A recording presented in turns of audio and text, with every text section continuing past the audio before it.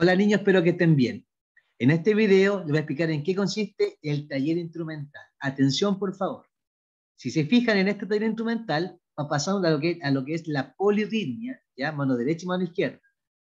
Es similar a lo anterior, pero con la diferencia, bueno, esto lo hemos visto en, en cuando estuvimos en las clases presenciales, así que no es nada eh, raro.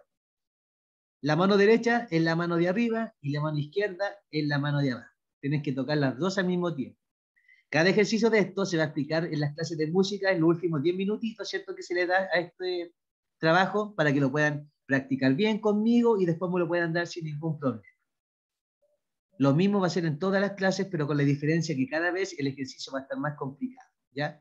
Si se dan cuenta que comienza la mano derecha, cuatro eh, golpes y después cambia el tiro a la mano izquierda. Después acá se van turnando las manos, ¿ya? No es nada complicado, si se fijan, lo primero está con puras negras y silencios recordar que clase por clase se le va a ir explicando con los videos explicativos. Y lo último, ¿ya?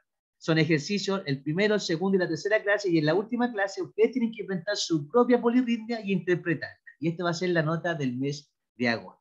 Nada más que eso, chicos, ¿ya? Esto se ha visto antes, se ve difícil, pero no es para nada, chicos. A usted le ha ido bastante bien, confío en usted, así que con este trabajito, clase por clase, se va a ir explicando detalladamente para que la clase siguiente entreguen el trabajo sin ningún problema. Me despido y espero que estén bien. Chao, chao.